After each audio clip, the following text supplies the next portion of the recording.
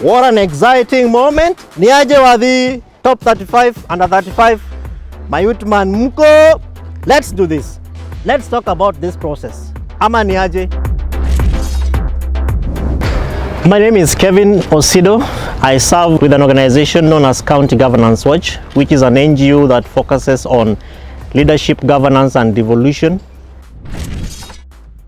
My involvement in uh, top 35 under 35 was in the category of exemplary leadership, and I must say that I interacted with very dynamic young people who know what they are doing, people who have a purpose, young people who are below 35 years, who have a vision, and they can give you a direction of where they are headed to. Now, having gone through this particular process, it was quite interesting to look at the list of nominees because I interacted with people who are in intellectual property, I interacted with people who are in gender, youth leadership, um, uh, persons with disabilities.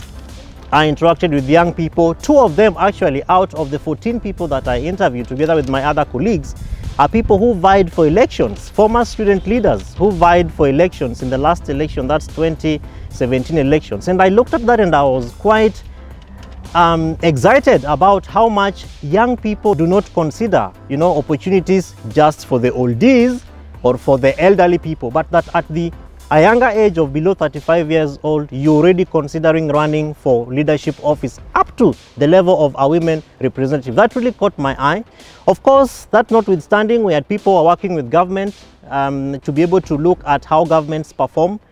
And I was quite excited about one young lady who told us that the, she even, through the organization and the work that she is doing, were able to sue the government in terms of how they misuse or do not put the taxes that we pay into proper use. I thought that was quite intriguing.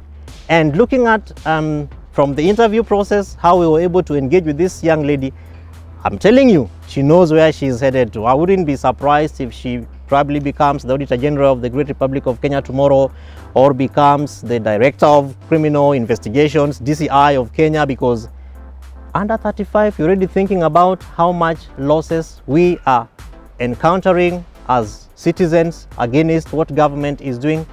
I think that was quite memorable for me as a judge within the exemplary leadership position. Of course, I interacted with people who have gone beyond the expectations of their cultural um, people have gone beyond their cultural expectations. Let me tell you about this young lady from Kibra who said, I lost my parents when I was eight years old. Within the culture where I come from, young people, particularly ladies, are never considered to be educated.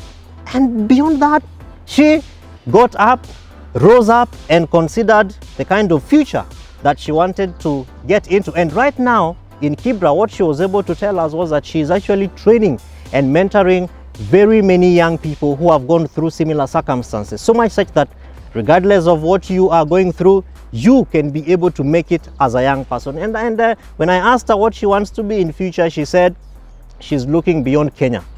So top 35 under 35 already is looking beyond just the boundaries of the Great Republic of Kenya. And this young person who is a lady, I won't tell you from what cultural background, but from the story that I have shared with you, you should be able to realize that actually where she comes from, education is not valued within her culture. And when we asked her about sustainable development goals, she was able to narrate almost all the goals and she took us through her own interest in the particular goals that address education for young women.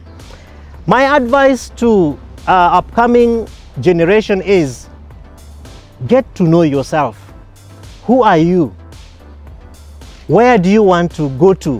Where do you want to get to by the time you hit 18 years old and by the time you are transiting? Article 260J of the Constitution of, Kenya, you are a youth between 18 to 35 years of age. By the time you hit 35 years, who do you want to be? The change that you want to see is a change that you are making. What is it that you are doing as an upcoming generation, particularly of young people? And so for me, really, your future is right in your hands. How can you be able to use your fingers and what you already have in your hands? The people that are around you. Do you have a mentor, for example? Do you have someone that you go back to and you talk to about the challenges that you are facing? Do you have somebody that call, you call or that calls you and asks you, can you account for your 8 to 5 p.m. for a whole day? Can you account for your evenings? Can you account for a whole weekend? Is it possible that you can be able to tell them what you have been able to do as an upcoming generation? Otherwise, this was an extremely excellent process. The first time in the Great Republic of Kenya, of course, I Googled that. And I'll tell you for free that Instagram says that top 35 under 35 has only been done in Australia. And closest to us is in South Africa. And it's not been done by non-government organizations like the Youth Agenda. What I saw has only been done by established uh, news media stations like CNN, BBC, Times Magazine, Eve Magazine, among others. But this youth organization took the risk to be able to underscore the essence and the importance of having an award process for those who are doing extraordinary things as top 35 and under 35. Don't you think you want to be part of that as an upcoming youth leader? I guess you want to be and when you are there, let's meet.